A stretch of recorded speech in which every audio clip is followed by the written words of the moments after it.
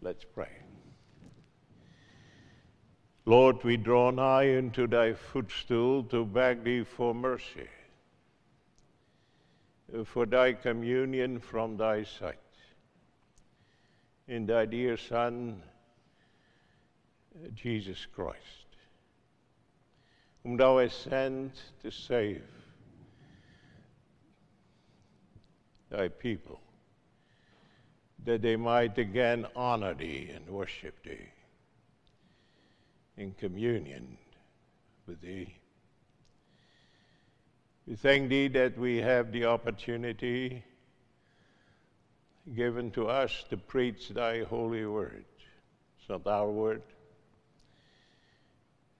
they're not our thoughts, and therefore direct us by Thy Spirit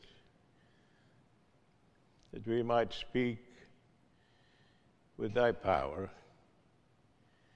with thy strength and in thy faithfulness to thy word. We confess that we are not worthy of it. Remember the sick, the afflicted, those who are going to travel this week, but also one of us who is in serious danger although thou art protecting in a special way. And we ask that thou would turn the evil into good, the fear into joy, the guilt into peace.